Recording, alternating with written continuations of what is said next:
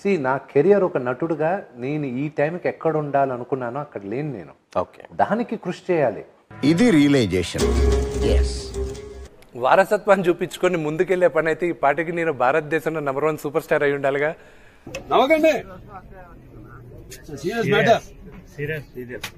తెలుగు వ్యక్తుల పైన అవగాహన ఆయనకి శూన్యం. శూన్యం. టంగుటూరి వీరేహం భక్కాంబద్ధం గురించి మాట్లాడమనండి ఆయన. సార్ సార్ సార్ ఏంటి సార్ అది? టంగుటూరి వీరేహం భక్కాంబద్ధం గురించి మాట్లాడమనండి ఆయన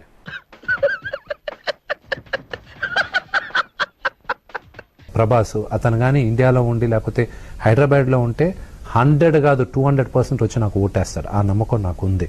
సో మేము అందరం అందరితో ఓటేస్తాడు. నీకేస్తాడు అనేది?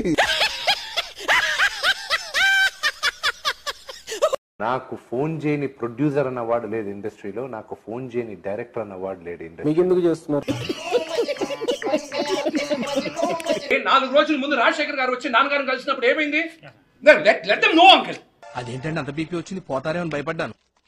కాలేజ్ డిసప్పాయింట్ అయ్యవా? సర్లేండి ఎమోషన్ ఎక్కువ మాట్లాడారు జాగ్రత్త. అట్లీస్ట్ ఐమ్ లక్కీ యూనో నా ఏదో ఏదో ఒక రీజన్తో మీడియాలో నేను న్యూస్లో ఉన్నానని. మీరేంటో మీ విధానాలు ఏంటో ఇప్పటికి నాకు అర్థం అవరో బాబు. ఉన్న ఏడు కోట్ల మందికో పది కోట్ల మందికో ఒక ఇరవై మంది హీరోలు మేము ఉన్నాం. అవునా? నిజమా? చేద్దాం వద్దా అనుకున్న స్టేజ్లో సి ప్రాబబ్లీ నేను ఇప్పుడు చెప్పకూడదు. అన్యవార కారణాల వల్ల ఏంటి బాబు అన్న ఇంకోసారి అన్న. అన్యవార కారణాల వల్ల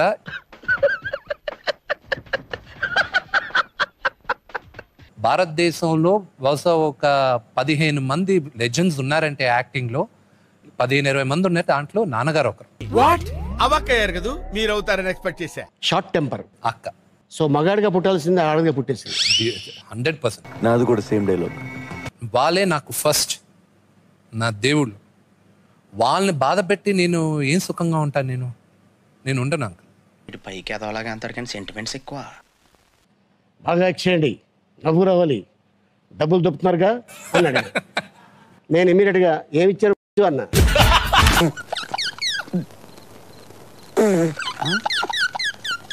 ఫ్యూచర్లో ఏమవుతాం అనుకుంటున్నాం భారతదేశం గర్వించదగ్గ నటుడు అవ్వాలి అనేది నా ఏం మాకు నమ్మకం లేదు దొరా. ఏం అనుకోకు. నా పెర్ఫార్మెన్స్ మీకు నచ్చినట్టయితే